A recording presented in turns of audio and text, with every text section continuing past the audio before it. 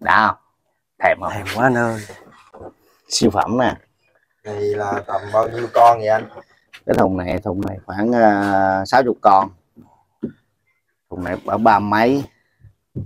Đây nữa anh. Đây bốn chục đó năm mươi mấy sáu mấy à? gì đó. Mới nở bốn mấy đó. Đã quá. Nhìn mấy con mấy con vàng này bữa mua heo rồi. Này mua nào? Đúng không đổ mồ hôi luôn mày ơi. Sức mồ hôi luôn à.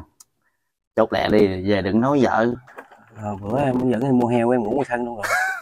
À, bữa em muốn dẫn em mua heo em ngủ ngoài sân luôn rồi